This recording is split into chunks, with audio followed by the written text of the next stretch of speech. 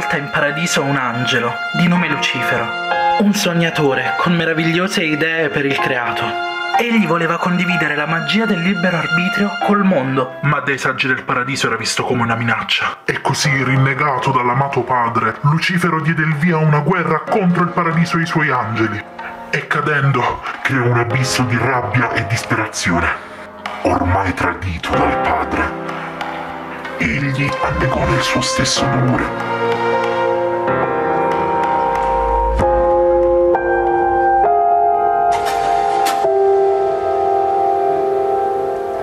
Wise man said.